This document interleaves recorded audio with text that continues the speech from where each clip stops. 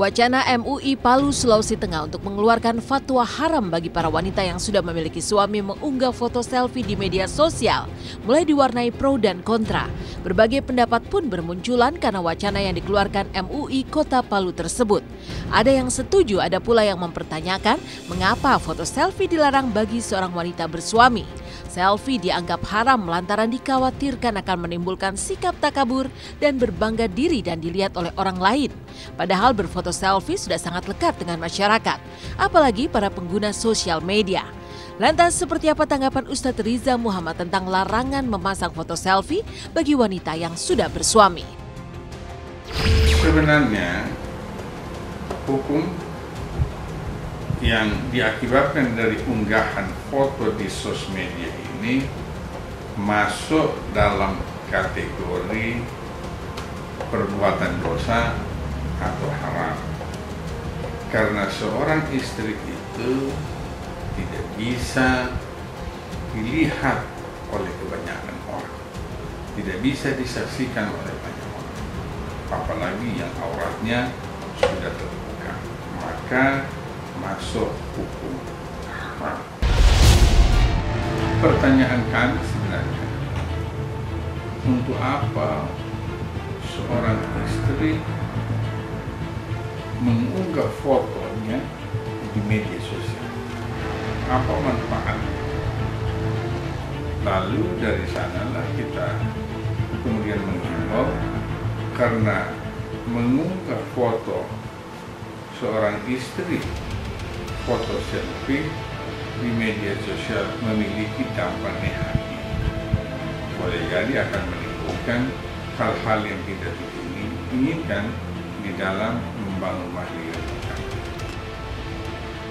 Alasan kita mengeluarkan himbauan ini itu banyak komentar-komentar yang mengarah kepada hal-hal yang.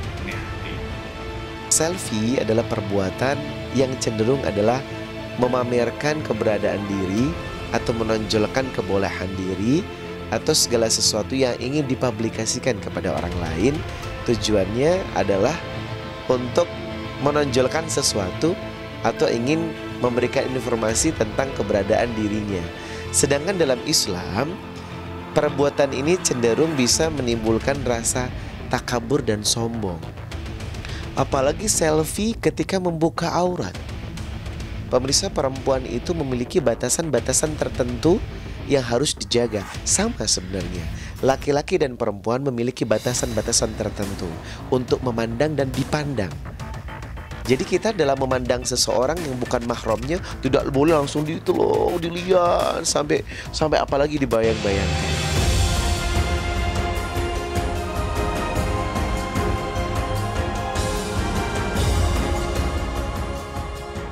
Wacana yang dikeluarkan MUI Palu ini langsung menjadi perbincangan hangat di tengah masyarakat. Begitu pula para selebritis tanah air dan anggota dewan yang memiliki pendapat sendiri tentang rencana jika dikeluarkannya fatwa haram seorang wanita bersuami memasang foto selfie. Oh, kalau sosial media itu dijadikan alasan untuk rumah tangga retak, ya gue gak setuju. Itu mah tergantung dari manusianya gitu loh. Menurut saya kalau selama ya kita mengunggah foto masih dalam tahap sopan dan wajar sesuai dengan norma yang berlaku menurut saya sih nggak masalah sih menurut saya seperti itu.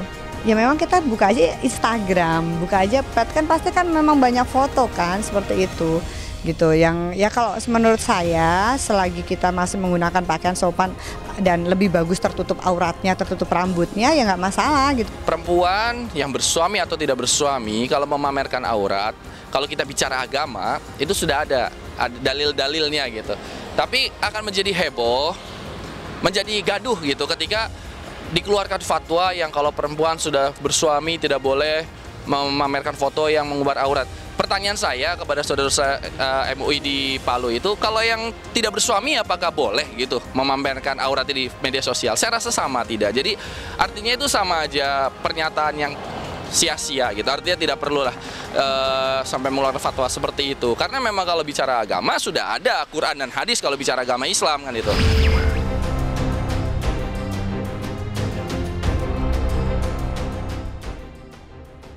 Meninggalkan wacana fatwa haram MUI yang sedang panas menjadi perbincangan, maka beralih pada kasus hukum yang menimpa Oi Putri Nia dan Yati. Lagi-lagi sosok Farhad Abbas seolah tak terima namanya turut disebut-sebut dalam pusaran kasus dugaan penipuan dan penggelapan yang menimpa putrinya dan Yati Olivia Natania.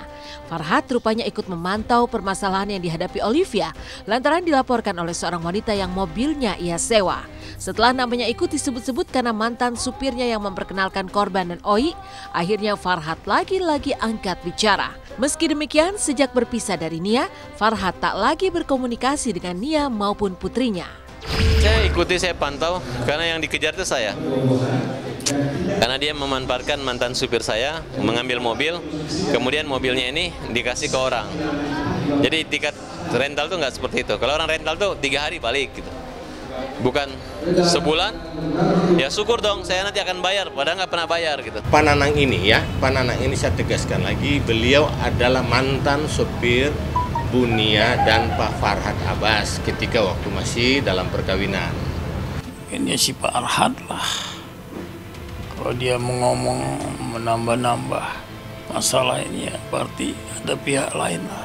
Yang minjam mobil itu siapa? Kamu apa Ibu Nini? Pak Nini. Kalau kamu nggak apa-apa. Enggak, uh, saat itu memang yang komunikasi dengan Pak Nanang adalah Oi gitu. Cuma yang memakai, yang uh, yang memakai, yang meminjam adalah Pak Nini saat itu.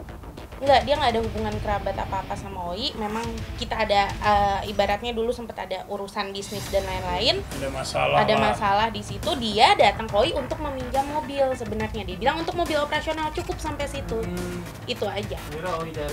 Akhirnya dicariin mobil lah gitu. Dan Oi pun tidak pernah sedikit pun memakai mobil tersebut gitu.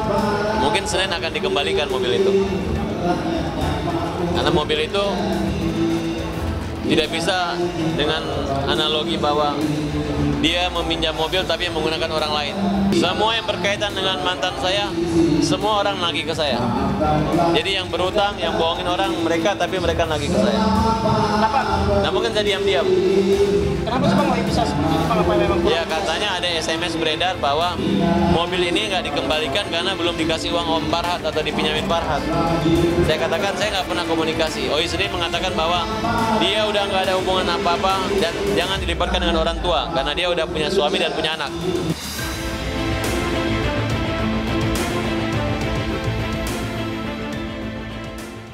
Sekarang intinya mau bikin apa? Bunda kelaparan. Kamu tuh harus sih bener dulu bikinnya baru kamu banyak ngomong deh. Ada bunda paling malas karena bunda tuh banget.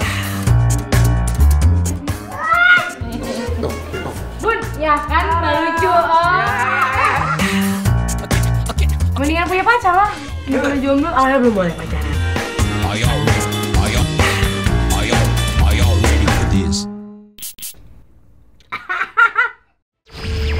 Demikianlah pemirsa kabar terkini, terpercaya, teraktual yang kami sajikan hari ini.